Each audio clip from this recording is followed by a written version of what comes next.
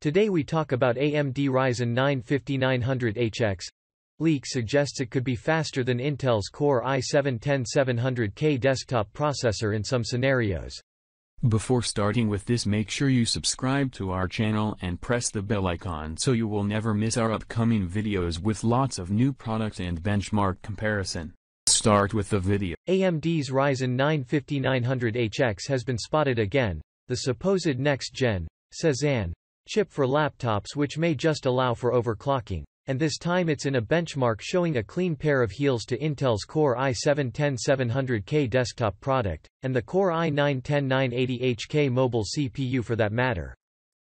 Tom underscore Apisak brought attention to this leak on Twitter, with the Ryzen 9 5900HX being spotted in an Asus ROG Zephyrus Duo 15 SE GX551QS laptop in the Geekbench 5 database. The CPU hit a single-core score of 1,534 and multi-core tally of 9,015, which is seriously impressive for a piece of silicon aimed at a notebook. In the result, the 5900HX is recorded as an 8-core chip capable of boosting to 4.7 GHz.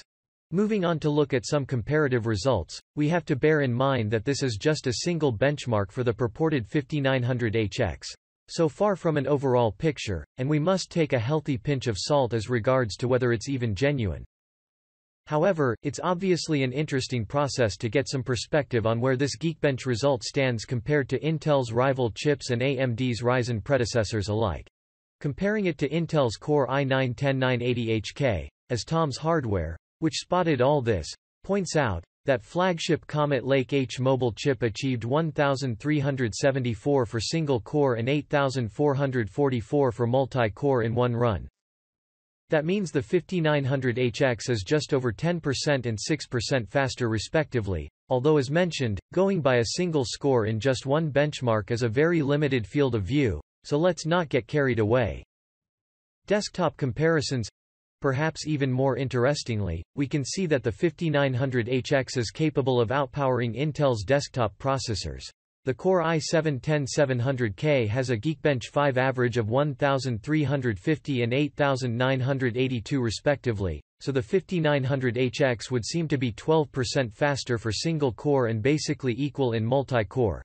If this turns out to be reflective of real performance levels, or at least in the right ballpark, it's a seriously impressive result for AMD given that we are talking about a laptop chip here, compared to a desktop CPU which is pulling way more power to achieve its performance levels, 125W in fact. Indeed, even if we take Intel's flagship 10900K, that only manages an average 1405 at single core, so the 5900HX is actually around 8% faster, although the 10-core Intel CPU obviously wins the multi-core battle. By some margin at almost 11,000. Of course, we should also look at existing Ryzen mobile chips, with the Ryzen 9 4900H hitting a result of 1232 and 8820 for single-core and multi-core in one sample benchmark run Tom spotted, making the 5900HX around 20% faster in the former department, although only a couple of percent better when it comes to multi-core.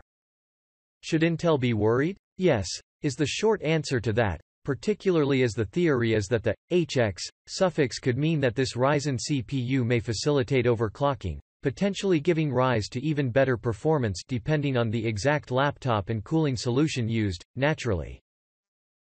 The Ryzen 5000 mobile range is very much looking like a strong contender in the laptop world, then, and we should hopefully see these chips unveiled by AMD at the start of 2020 during CES. Thank you for watching. If you liked this video, please do subscribe to our channel.